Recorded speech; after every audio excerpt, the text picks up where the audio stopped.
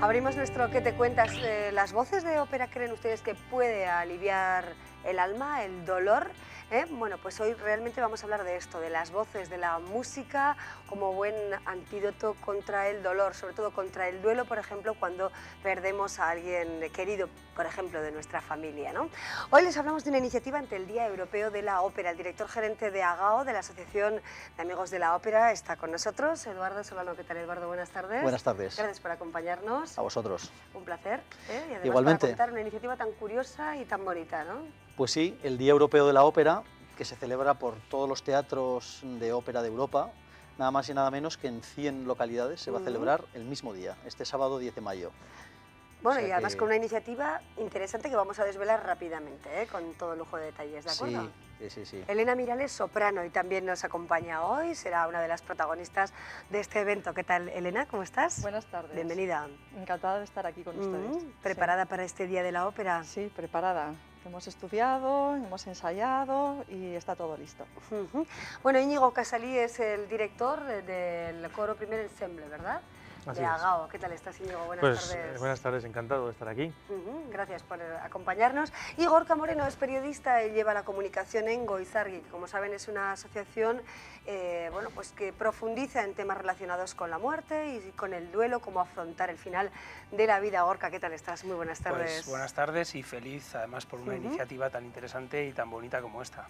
Así es. Bueno, vamos a hablar de la, de la iniciativa con carácter solidario, un concierto original. Eduardo, ¿dónde se va a celebrar? ¿Cómo? ¿Y para quién y por quién? ¿no? Ujú. El concierto se celebra este sábado, 10 de mayo, a las 8 de la tarde, en el nuevo casino principal, Ujú. a quienes quiero dar las gracias por Sí. cedernos el uso de su sala, maravillosa sala, en la que han cantado gente pues, como Gallarre, sin ir más Ujú. lejos. ¿no? Entonces, como digo, este sábado, a las 8 de la tarde, y en el mismo va a intervenir, bueno, se titula Viaje a la ópera, Sí. un título muy recurrente que, como decía antes, va a ser el mismo título para todas las localidades europeas. Y en el mismo va a intervenir, van a intervenir bastantes solistas eh, que normalmente cantan con Agao, varios de ellos, la mayoría miembros del coro. El coro mm, Premier Ensemble de Agao, dirigido por Íñigo Casalí, y se van a interpretar piezas de ópera muy conocidas, arias, dúos, coros, eh, canción, canción napolitana, canción chilena, que es muy cercana al repertorio operístico, y luego algunas de las más conocidas páginas de, de nuestra zarzuela. Pues Luisa Fernanda, Doña Francisquita, etcétera, preciosas. Bueno, desde luego, acontecimiento interesante. ¿Qué reflexión se puede hacer en este Día de la Ópera, Íñigo?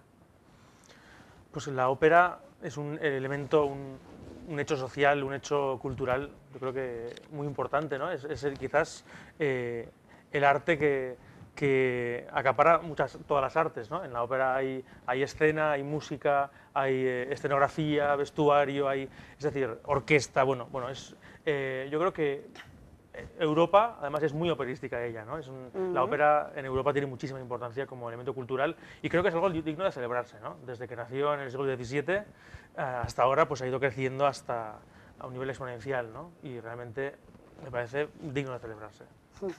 Bueno, y este año, este Día de la Ópera, está muy dirigido y con la mirada puesta en las personas en situación de, de duelo por la pérdida de un ser querido. Gorka, eh, ¿cómo habéis hecho posible ¿no? esta, esta unión, este enlace entre la música y, y el duelo? ¿no? Porque eh, obviamente, ¿verdad? La música puede mitigar, pues, por ejemplo, ves el duelo que ocasiona la pérdida de un familiar, ¿no? La verdad es que bueno, tanto Agao como el nuevo casino nos propusieron la idea, para nosotros nos parecía maravillosa, somos Ujú. una asociación todavía relativamente pequeñita, no solo por el apoyo económico que en un momento determinado supone y que te ayuda a garantizar la viabilidad de los programas que tenemos en marcha, sino sobre todo también por la ayuda que te hacen, que te dan a la hora de difundir tu labor. ¿no?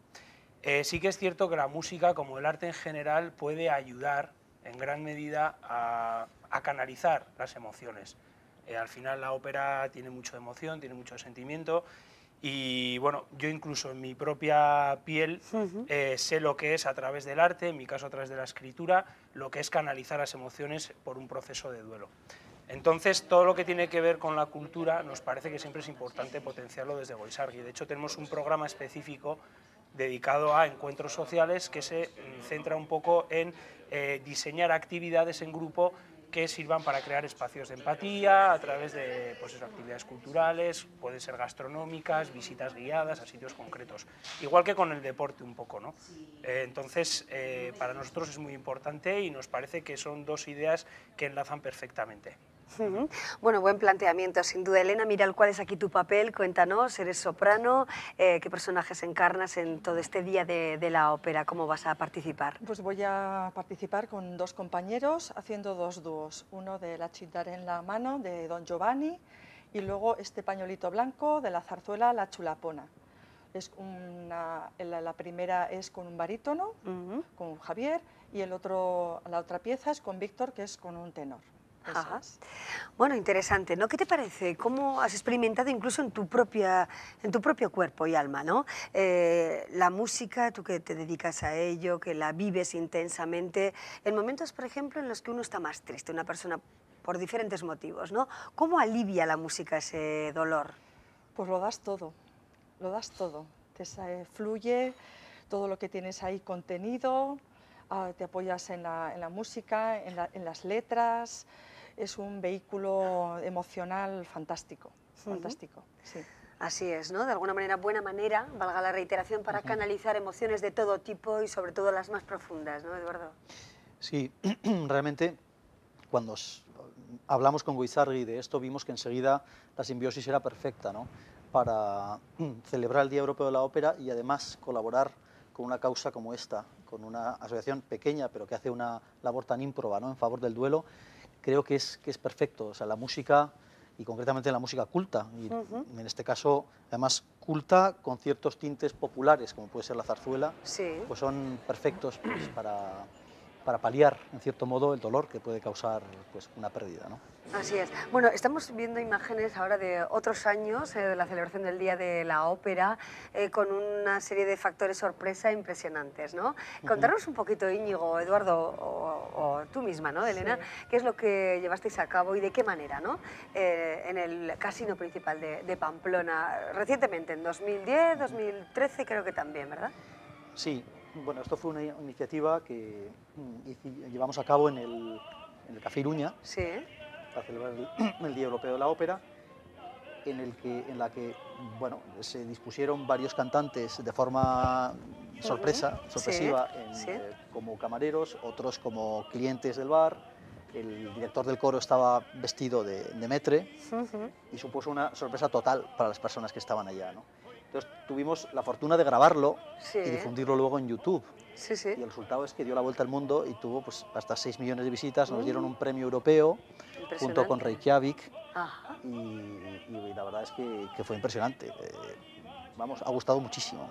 Sí, bueno, la verdad es que el efecto sorpresa, ¿no? Entre las personas que se encontraban allí, eh, realmente, pues eh, sería total, ¿no? Lo hemos estado viendo esta mañana mientras editábamos las imágenes y es, es llamativo, sin duda. Pues sí, es ¿Mm? popularizar la ópera, Sí, sí. llevarla a la calle y además te das cuenta que realmente a la gente le, le apasiona, le encanta.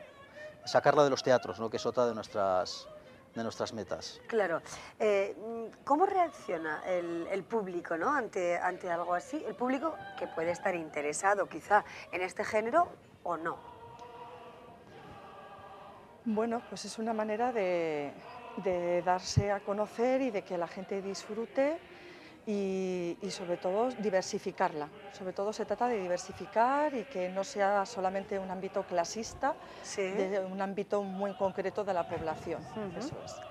Sí, bueno, y la población navarra, eh, Íñigo, ¿cómo veis? No? Vosotros que palpáis un poquito, que veis al público muy de cerca, ¿cómo veis el amor por la, por la ópera? ¿Realmente va a más, está creciendo o no es un género que nos atrae? Yo creo que sí, atrae, la ópera atrae. Lo que pasa es que, que es una, bueno, en el fondo hay unas ciertas eh, eh, trabas, que, pues a veces sociales que ha habido, ¿no? y cul- culturales para llegar a ella, pero el que se mete en la ópera generalmente ya suele estar enganchado por ella. Porque claro, hay una serie de, de componentes, eh, por eso sí, importantes, la ópera también en vivo, o sea, gana muchísimo viéndola pues eh, in situ, con la orquesta, con, con, la potencia de una voz que te llega directamente. ¿no? Eh, y respecto, por ejemplo, a lo que estábamos viendo, las reacciones del público a veces eh, suelen ser de sorpresa, porque la gente, mucha gente que no está acostumbrada a lo lírico, le sorprende la forma de emitir lírica. ¿no? Tú estás tranquilamente y de repente escuchas un nado que hace y te pega un petardazo ahí, ¿no? Dices, ¿esto qué que es? te remueve, ¿verdad? Entonces, una sorpresa, pero que esa sorpresa al principio es,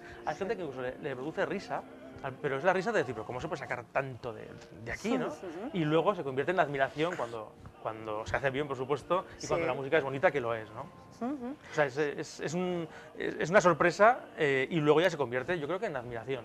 Sí, bueno, esta es una de las iniciativas que, que, os ha unido, pero quizá haya más, ¿no? También, Gorka, estáis eh, apostando mucho también por los eventos culturales y deportivos, como decías, en, en Goizargui, pero quizá, bueno, pues puede ser el inicio o el caminar en este sentido, ¿no? para que las personas que quizá están pasando un mal momento en, la vida, bueno, pues vean eh, la vida con esperanza, con ayuda bueno, de los recursos culturales que siempre pues, eh, nos hacen profundizar, disfrutar, reír, llorar, un poquito de todo. ¿no? pero que nunca nos dejan realmente igual que cuando hemos ido a un espectáculo antes de ir, vamos. Eh, yo creo que cada persona también cuando está en un proceso de duelo tiene que encontrar en qué parcela es donde puede canalizar sus emociones y su dolor. ¿no? Eh, la cultura y en este caso la ópera, gracias a Goya Nuevo Casino, nos da una oportunidad. También tenemos en marcha un torneo benéfico de pádel, que es el 24 de mayo, en las instalaciones de Arena Entrena Pádel en Beriain, que se han volcado también para ayudarnos. Hay mucha gente que el deporte, por ejemplo, también le genera muchísimo beneficio. Entonces, ese tipo de iniciativas de, de, colaboración, de sinergias entre distintos colectivos, asociaciones o incluso empresas que de alguna manera sí entroncan con lo que es la filosofía de lo que hacemos y que, y que sirven al mismo tiempo como un, un respaldo y un, y un, espaldarazo a nuestra labor, pues siempre son bienvenidas. ¿no? Y me imagino y ojalá esta sea la primera de, muchas otras. ¿no?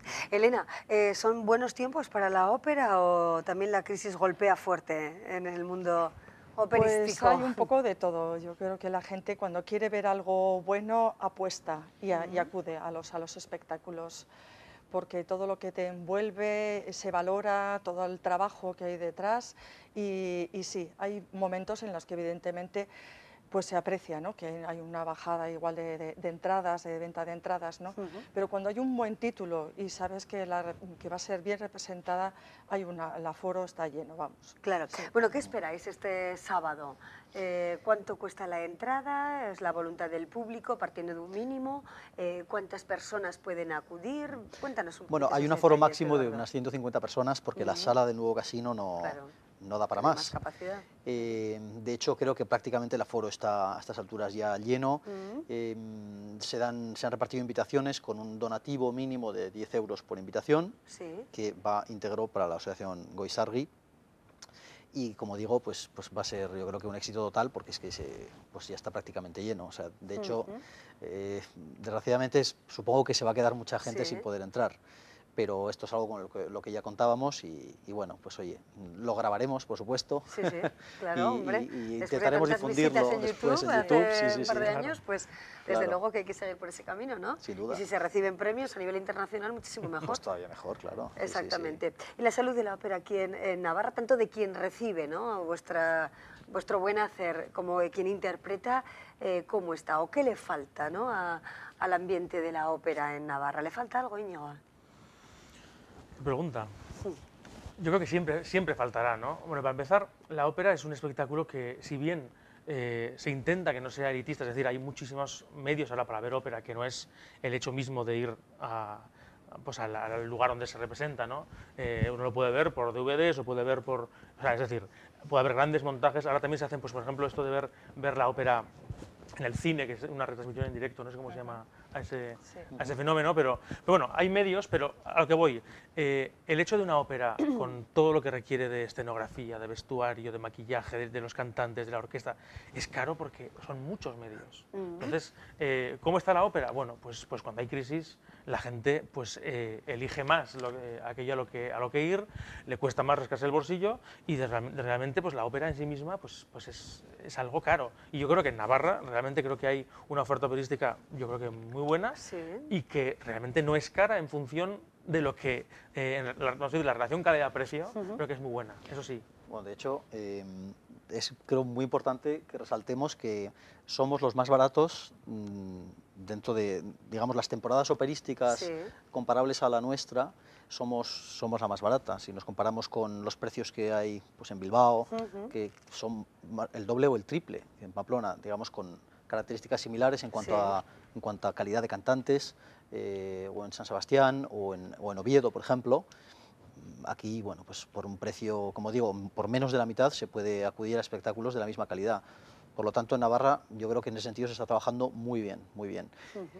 Yo creo que en, en cuanto a qué falta, ¿Qué falta? pues creo que lo que falta es tener una temporada estable, oficial de ópera, una temporada navarra, eh, en la cual se está trabajando ya en conjunto con la Fundación Baluarte y esperemos que llegue a buen término, porque yo creo que eso cualitativamente y en cuanto a notoriedad, digamos, de, de la marca Navarra, sería un, un paso, un gran paso. Claro. Bueno, ante el día eh, de la ópera, Elena, ¿cómo es el día a día de una cantante de ópera? ¿Cómo os cuidáis? ¿Qué esfuerzo hay que hacer? ¿Cuánto hay que ensayar? ¿Cómo?